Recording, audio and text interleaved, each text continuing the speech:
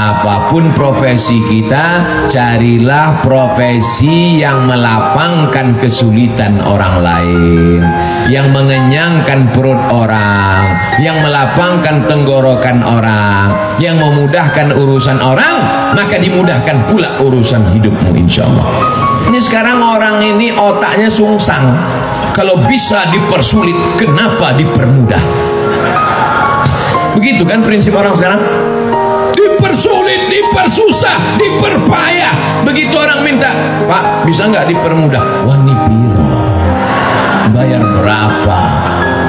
Dunia ini tak sampai setengah sayap nyamuk. Kau tangkap nyamuk, ambil sayapnya sebelah. Itulah dunia. Itulah yang kau kerjar dengan cara haram.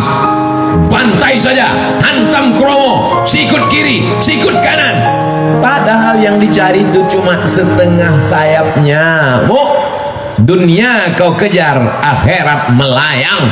Akhirat yang kau cari, dunia datang bersimpuh di bawah tapak kaki. زينت السماء وضعت الجبال